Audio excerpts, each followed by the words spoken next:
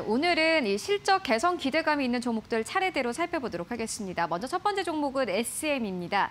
예, 최근 엔터 3사가 실적 개선 기대감이 계속해서 주가가 상승 흐름을 보이고 있는데요.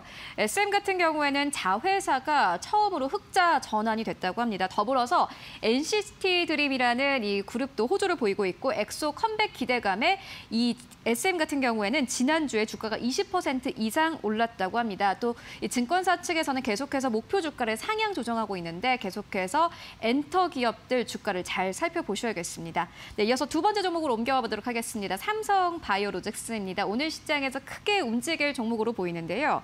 일단 한미 양국이 정상회담을 계기로 백신의 위탁 생산과 예, 연구 개발까지 협력을 강화하기로 했다라는 소식이 예, 들어왔습니다. 삼성 바이오로직스가 8월경부터 모더나의 백신을 위탁 생산한다라는 뉴스가 있는데요.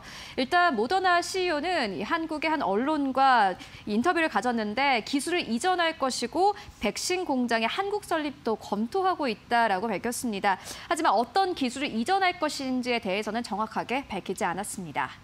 네, 이어서 세 번째 종목으로 옮겨가 보도록 하겠습니다. MBT입니다. 실적 개선 기대감이 나오는 종목인데요. 이 MBT 같은 회사는 MBT 회사는 모바일 포인트 플랫폼 회사입니다. 모바일 장급 화면에서 컨텐츠와 광고를 제공하는 업체인데 대표적으로 캐시 슬라이드가 있습니다. 올해 처음으로 흑자로 전환이 됐다고 하는데 영업이익 같은 경우에는 5억 9천만 원으로 집계가 됐습니다. 일단 사업 성장이 가속화되고 있기 때문에 올해 1, 1년 전체가 흑자 전환이 될 것이다. 있다라는 기대감이 나오고 있습니다. 또 퍼포먼스 마케팅 수요도 늘어나면서 이 증권사 측에서는 목표 주가를 상향 조정하고 있습니다. 네, 이어서 네 번째 종목으로 옮겨가 보도록 하겠습니다. KT인데요. KT는 계속해서 주가가 꾸준히 우상향하고 있습니다. 연초 대비해서 주가가 35% 넘게 상승했는데 이 컨텐츠에 대한 호평이 이어지고 있습니다. KT의 이 시즌을 설립하는 현물 출자 계약이 체결됐다라고 나왔는데 이와 관련해서 컨텐츠 기업에 대한 호평이 이어지고 있고요. 또 K뱅크도 실적이 계속해서 좀 좋아지고 있는 상황입니다. 이와 함께 KT의 주가가 28개월 만에 3만 원 선을 돌파를 했는데 있는데요.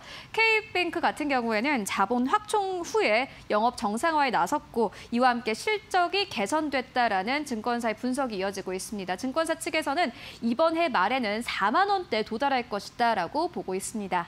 네, 지금까지 네 가지 종목 살펴봤습니다.